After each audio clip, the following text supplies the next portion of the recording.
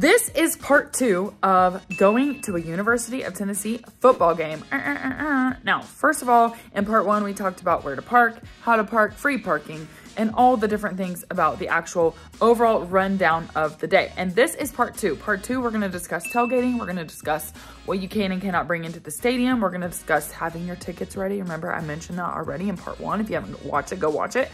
Um, and we're also going to talk about the best places to sit in the stadium if you want to avoid sun or you want to be shaded or you want to not be drenched if it rains. So let me know your thoughts and let's dive in.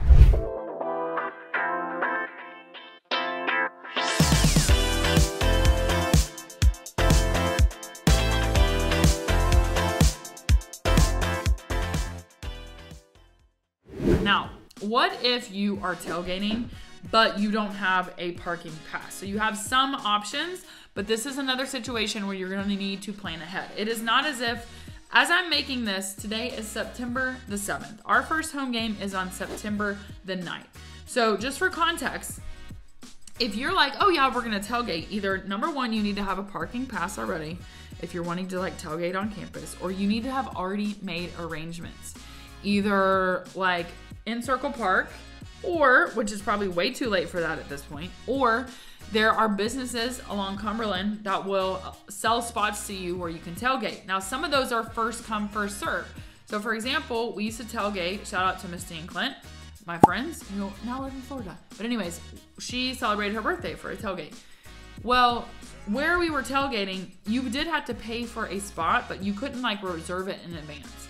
So, her husband got down there at like 5 a.m and reserved the spot, a big enough spot, paid for it. We put the tents up, we did the thing. But I would not wait until the last minute because, or if you are waiting till the last minute, then you're, you're gonna need to leave your house at the butt crack of dawn. Okay, I know that's not appropriate. I could say something worse, but you know what I'm saying. You're gonna need to leave way sooner than that. If you are tailgating, you need to have a plan. You gotta execute it ahead of time. So I just wanna mention that about tailgating. Now, supposedly, this is not a University of Tennessee uh, licensed video or whatever. This is just my own personal experience information and information that I have piled together, compiled information I've piled, have compiled together. Okay. I have asked more than one source who are major tailgaters, have tailgated in the past, I've been to their tailgates, whatever. And the consensus is that if there's grass, it's a free for all. In other words, if there's grass and you get there soon enough, if you put your little tent there soon enough, you can tailgate there. Now, there's also an unspoken rule that, like so and so, Jimmy Tom Tom has been tailgating at this certain grass spot for the past 25 years. And if Haley Jones shows up and puts her tent down earlier than Jimmy Tom Tom, then my uh, little uh, tent is going to be moved. Okay, so just tread lightly if you're thinking, oh, this is a free grass space. I'm going to put myself out here the night before the game. Jimmy Tom Tom is probably going to um, put it somewhere else. It's going to be displaced, okay? That is the word on the street. Again, this is not an official word, it's just from people's past experiences, okay? So all that moral of the story is you got to prepare yourself if you're thinking of tailgating. Either it needs to be in one of those parking spots, like you got to secure the space. Is all I'm trying to tell you. Um, don't think you're just gonna roll up at noon for a five o'clock game and be like, we're gonna tailgate, but like you don't have you don't have a place to do so. Make sense? Um, and like I said, there are businesses along Cumberland Avenue. Although there is so much construction going on right now, you probably could call one of those businesses and say, hey, do you sell do you allow tailgating or whatever? Do you sell spots? Like, what do I need to do that? Do I just need to show up that day? Do I need to pre-arrange with you? Because, for example, we used to, we had a friend who, when Half Barrel back in the day, he would pay for the season up front. And that would be for like five spaces for every home game. So we would go there um, and tailgate before the game. So, um, but again, he had done that before the season. He had arranged to do that with the business. Or sometimes the business like contracts that out to someone else. So you can call them and say, hey, you know, again, just have a conversation. Do you allow tailgating? Can we get a pass? Can we get it for the whole season? Blah, blah, blah, whatever. Um, if you're trying to do that days before the season starting, you may be too late. You may be able to get for a um, non crazy game, but like there's, for example, a business that they specifically do like tailgating supplies.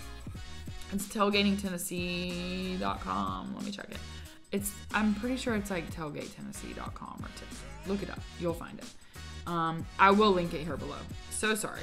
Um, but like for example, if you look at what's available for their oh, I had it pulled up tailgatetennessee.com. If you look at what's available, like they're sold out the Georgia game, sold out all their packages. The UTSA game, which is in September, so a couple weeks from the making of this video, there's a couple packages still available. Um, everything is sold out. For Vanderbilt still available. South Carolina sold out. I have a bone to pick with South Carolina after last year's game. I'm just telling you that. I'm still bitter. You probably saw me talk about that on another video. Whatever. All that being said, go to Tailgate Tennessee and they can supply stuff for you and they can also help you um, likely with like, hey, where could we do this or whatever. They're gonna know for sure what you can and cannot do. So that would be another great resource for you. Okay, so that's tailgating. Now let's talk about game day. So a huge part of the game day experience are things like the ball walk. You've got um, the march to the stadium by the um, of the Southland band. Um, you've got the pregame tee where the Pride of the Southland band is like on the on the field, and they open up and they form the tee, and the game the team runs through the tee, and it's literally magical. Okay, so again, um, for this is for just for context, so you kind of have an idea. First of all, the band has a Facebook page, and on that Facebook page, every game day, it's going to give you the rundown of the schedule. And this is not just for football; this is for like all the sports, okay? Because the game, the band is a huge part of all the sports. So if you go to that Facebook page, again, I will link it for you. It will tell you the exact times of when stuff is happening. So again, the game, just for context, just to give you an example timeline, for a five o'clock kickoff, the band has 10 a.m. open rehearsal on Volunteer Boulevard. Okay, so that's when you can kind of start to get in the vibe. You know, stuff's happening. Now, 2:45. So we have a five o'clock game. Go back two hours and 15 minutes before kickoff. This is when the ball walk happens. This is when the players are walking into the stadium. Super cool. The band is playing. It's super dramatic. It's really awesome. Definitely want to see it. So that's about two hours and 15 minutes before kickoff. So, and that's on uh, Peyton Manning Pass is where it is, the name of where this is. So if you go look at a map, you're gonna see what I'm talking about. If I'm telling you this right now, you're like, hey, what are you talking about? Peyton Manning Pass is where the ball walk is coming down. So cool. So that happens two hours and 15 minutes before the game. Then at 3:20, the full band marches to Neyland, Neyland uh, with a stop for salute to the hill. So 3:20 so that would be about an hour and a half before kickoff. The March of the Band happens. The entire Pride of the Southland band is marching to the stadium and they are playing. And again, it is super awesome. You got to experience it. So cool. Okay. Then, the next most important time to know is 15 minutes before kickoff. The band is coming on the field, they make the tee, and the team runs through, which means if you're wanting to see all that pregame celebration, my suggestion to you is, and this is like literally living on the edge, okay? I even told my mom this earlier, and she was like, Haley, that is not enough time. But I know it's enough time because I've done it. Okay, so I'm talking about at the very last minute, if you're wanting to see the players run through the tee on the field, you need to be getting into the stadium 30 minutes. You need to be in line at the stadium no less than 30 minutes before kickoff because they run through that tee 15 minutes before kickoff. And if everyone already had their tickets downloaded, you probably could, you know, walk up five minutes before, you know, the tee is supposed to happen and walk in easily. But let's be honest, that's not what's to happen. And people are to bring backpacks they weren't supposed to bring in their suitcases and like all this stuff they weren't supposed to bring. It's to slow the line down. It's to be a cluster. So if you want to see the band and the team run through the tee, you need to be in line to walk into the stadium 30 minutes before kickoff. And my mom, and it's my mom, so she probably knows something. She knows more than I do, that's for sure. Um, she's like, no, it needs to be at least 45 minutes. I think that's a little aggressive. However, if you did get in there earlier, you have plenty of time. Get a drink, relax, you're good. Find your seat. use the bathroom, and then be in your seat 15 minutes before kickoff to see the T and the team run through the T. I'm telling you, it is so cool. There's, it's just amazing. It is, I can't even describe it. I, I videoed it last year. There is a video of it happening last year. If you want to go see it, go check it out. Um, but it's awesome. So, anyways, so 15 minutes before kickoff is when you will see the team running through the T. So that's kind of the rundown of like the day, right? So park early. Uh, you've got about two hour, two and a half hours when the team enters where you can watch with the band. You've got about an hour and a half before kickoff where the band is going to march in. And then you've got 15 minutes before kickoff where you can see the team run through the tee. So let's talk about some of the other things that I just want to mention to you to know. So, in terms of things that you can bring into the stadium, we've already talked about this. You can bring in a clear bag no larger than a 12 by 6 by 12. So, um, this is an example of where I've I've fallen off on the job because I don't have an example of this, but I don't ever bring anything that big. So I don't have. I have like a tiny little clear bag, which even that could be a clutch. But if you think like a piece of paper just as an example, is um, like this is an eight and a half by 11. So 12 is, you know, one inch taller basically, and then like six inches thick. So um, not a huge bag at all. Don't be bringing a backpack in. So clear bag. Um, you can have a, a clear plastic storage bag. Um, it says one gallon resealable. I don't know what you're putting in there. I guess you're gonna bring your sandwich in your plastic storage gallon bag. I'm sure there's something that makes a lot of sense that I'm not thinking of. I'm just telling you, you can bring a clear plastic bag up to a gallon size, okay? You can have a small clutch no larger than four and a half by six and a half, so that, that would account for a wallet. You could bring your wallet in. And you can bring a seat cushion that says no arms and no pockets. So in your seat, in your seat cushion, it can't be one of those like fold up ones and it cannot be one of the ones that has a pocket in it. So just like the poof, basically. Now, um, what is absolutely prohibited? Backpacks, solid or clear. Plastic, printed pattern plastic bags. So if you have a, I don't have one. If you have a plastic bag that's got like a print on it, you cannot bring it in. It needs to be clear. You cannot bring fanny packs, purses. You cannot bring reusable grocery totes. You know, like, uh, hold on, I've got one. I've got one for you. For example, look at this. It's even branded. Uh, you cannot bring this in. Can't bring it in. Um, mesh bags, no. Duffel bags, no. Large tote bag, no. Camera case, no. Diaper bags, no. Cinch bag, so that's where you, you know, it's like those sport bags you tie at the top. Cannot bring that in. Colored plastic storage bag, cannot do that. If you're bringing a storage bag, it's got to be clear and less than a gallon or a gallon or less. Um, some other things to note that you cannot bring. Again, no diaper bags. You may not bring alcoholic beverages in. Don't do it. Don't be that person. Don't shove it in your boots. Even though some of y'all in here I know are going to do that because you're sneaky. Um, you cannot bring selfie sticks, no umbrellas. You cannot bring radios with headsets. You cannot bring outside food, snacks, or beverages unless needed for medical purposes. No cans, no bottles, no coolers, which is different than uh, Bristol Motor Speedway because you can bring a cooler in there. You know what I mean? Um, no professional cameras or cameras with detachable lenses. This is what I just don't understand. No unmanned aircraft, which I guess people maybe were bringing drones in there. I don't know. That's dumb. Don't do that. Um, stadium seats with arms or pockets. Again, you cannot do that. You cannot have large bags or parcels, including backpacks, purses. We already talked about that. No weapons, including pocket knives. No hoverboards. No segways. Um, no artificial noisemakers, aka leave your air horn uh-uh, at home. Um, no smoking, and that includes e-cigarettes. Um, you cannot cannot do it. Cannot smoke on campus. Can't do it. Um, no strollers and no posters or signs larger than 8.5 by 11. Who's to see this? No one. Okay, this is what you can bring. Again, small clutches. You can bring empty clear water bottles. You can bring your cell phone. Binoculars without the case. So probably you want to have your little strap.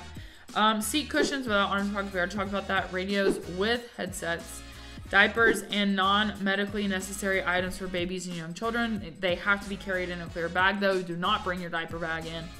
And limited use of cameras, which this is like a little bit loose. Um, game action may not be filmed. Consideration of other specta- spectators is expected. Um, so, anyways, that's things about what you can and cannot bring in. Don't bring your Segway. Okay, don't bring your hoverboard. Don't bring your diaper bag. Um, okay, so the other thing I wanted to mention, and this is about where are you sitting in the stadium. Depending on where you are sitting in the stadium, you're gonna get a ton of sun and you're gonna be roasting. So if you are on the river side of the stadium, so this would be like sections Q through G. So that's basically this whole side. Here's the river. This side, there is no cover you're gonna roast. And part of this down here is like student section and the band.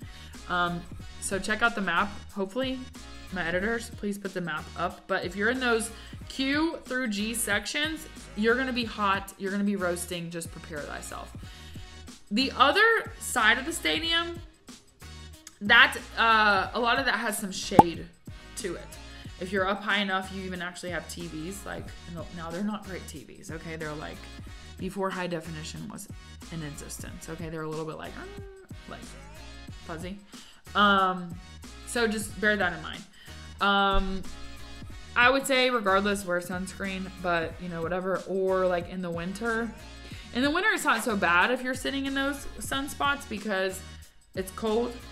Um, so it's a give and take, right? In the winter, it's fine. In the summer, you're roasting. Um, so first of all, this is the um, Neyland Stadium map.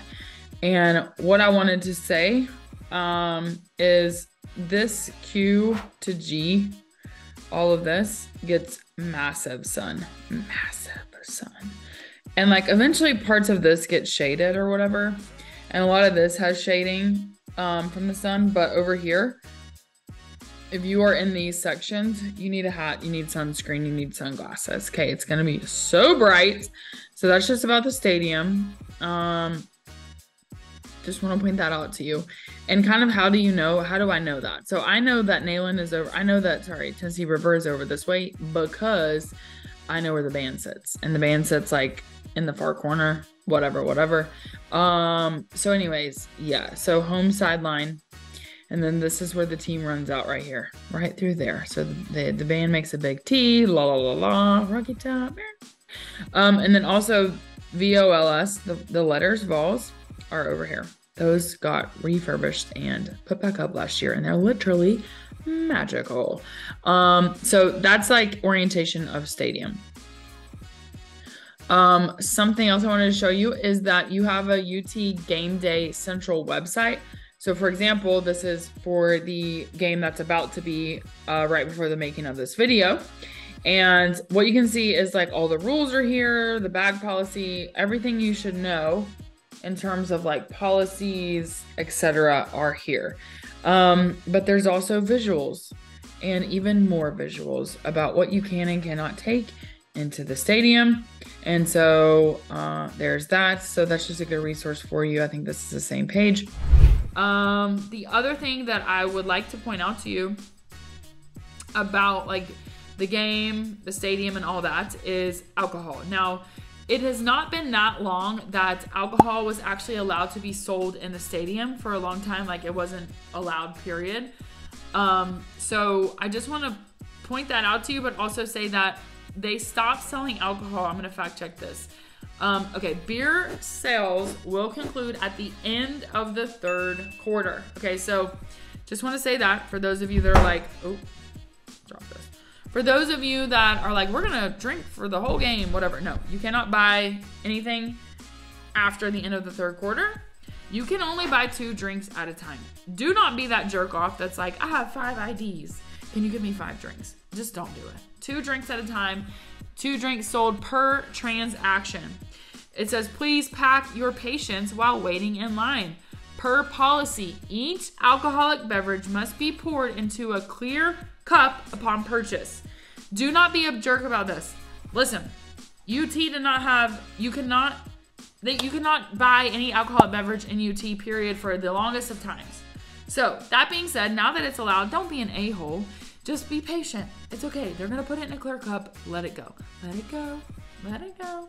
Um, the other thing is that it just says, obviously, this goes without saying, individuals will be ejected from the venue and are subject to prosecution if they pass off beer to a minor.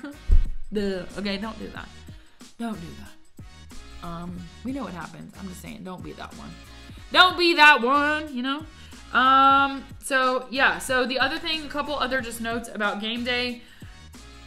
Gates of Neyland Stadium open two hours before kickoff. So five o'clock game, gates open at three. Remembering that you can watch the team march into the stadium just before that, about two hours and 15 minutes ahead of time, and then the gates will open.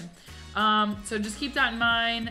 Um, I'm trying to like make sure I'm not missing anything major. Go back through my notes.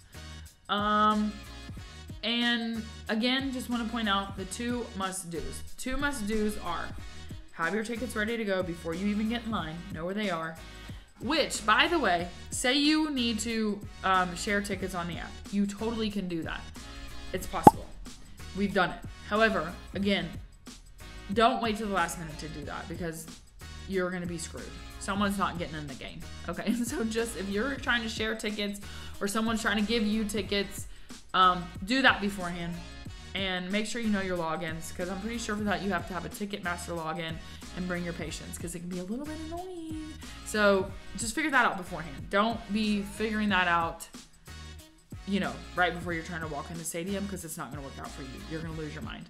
Um, and yeah, the other thing is have fun. I mean, it's going to be great. Sing Rocky Top, sing at the top of your lungs. You're to love it and you're always want to go back. It's to be super, super fun. Let me just check one more time, make sure I'm not missing anything. We talked about parking, we talked about what's allowed, um, we talked about the clear bag policy, we talked about how to tailgate, where to tailgate, um, we talked about drinking, can't buy after the end of the third quarter. We talked about um, the schedule for the band. We talked about um, so on your ticket, it's gonna tell you like what where to enter. So just follow that. I mean, you can walk around the stadium. I'm just telling you, just go by what it's saying. Um, and we talked about all the prohibited items. We talked about sitting in the sun. Um, there is an awesome website, utsports.com backslash sports, blah, blah, blah, blah, blah. But basically, it has um, information. There's a, there's a site for every game, but then also there's links for kind of all the information. It's called Game Day Central and it's going to tell you all the things you need to know.